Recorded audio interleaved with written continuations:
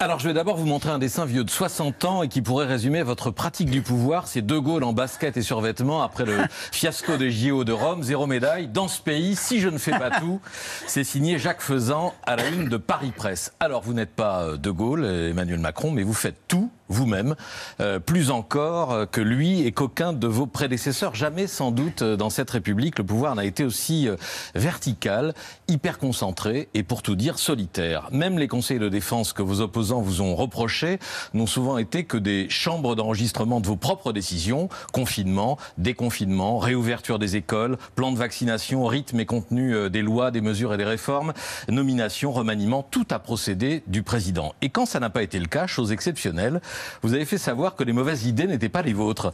Euh, la baisse de 5 euros des APL, une connerie sans nom, avez-vous dit.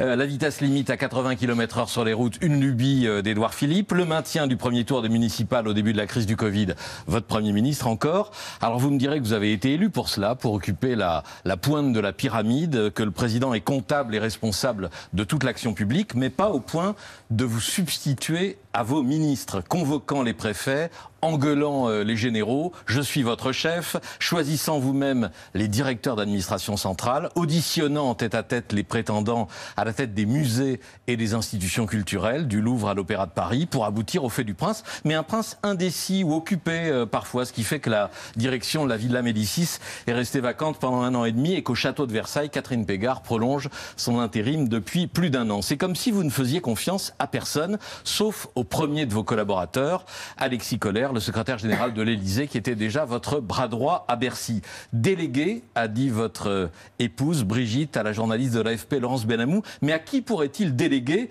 quand ses collaborateurs lui remettent des notes? Il vérifie tout derrière, tout vérifié, tout contrôlé. C'est donc l'Élysée qui relie et valide les interviews de ministres avant parution euh, dans la presse, qui fait recompter le nombre de lits d'hôpitaux parce que vous doutez des chiffres du ministère de la Santé, omnipotent, omniscient, arbitre de tous les détails, jusqu'au modèle de filet de pêche, alors ce n'est qu'un exemple, hein, j'en avais des, des centaines, abordé au sommet de Brest sur la préservation des océans.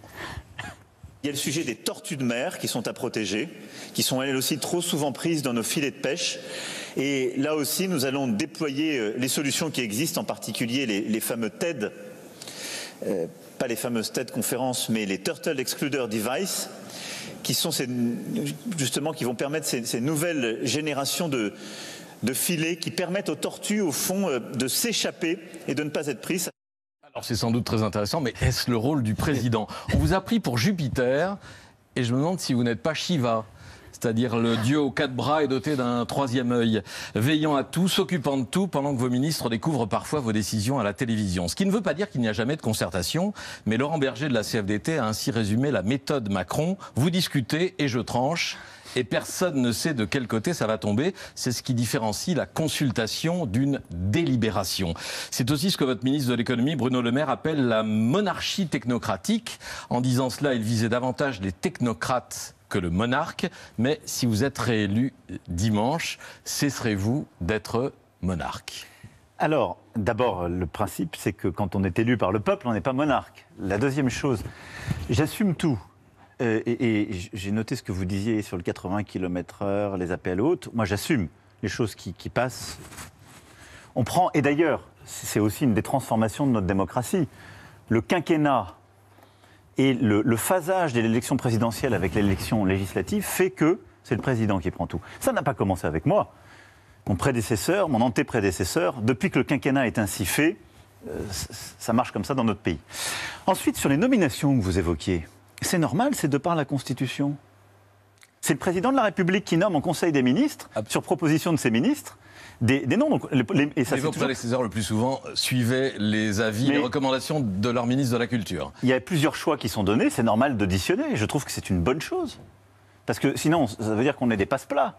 Et euh, général, puisque vous l'avez montré en caricature dans ses mémoires, que je crois que François Mitterrand faisait pareil d'ailleurs. C'était beaucoup plus terrible que moi. Il, de manière régulière, il rayait des noms de gens qu'il connaissait pas du tout pour montrer qu'il ne fallait pas leur en passer comme ça. Donc heureusement que on, on fait, je fais de par la Constitution ce qui m'est demandé de, de faire, c'est-à-dire les nominations qui passent en Conseil des ministres. Quand elles passent pas en Conseil des ministres, euh, c'est pas le président qui nomme et je, je ne m'en mêle pas.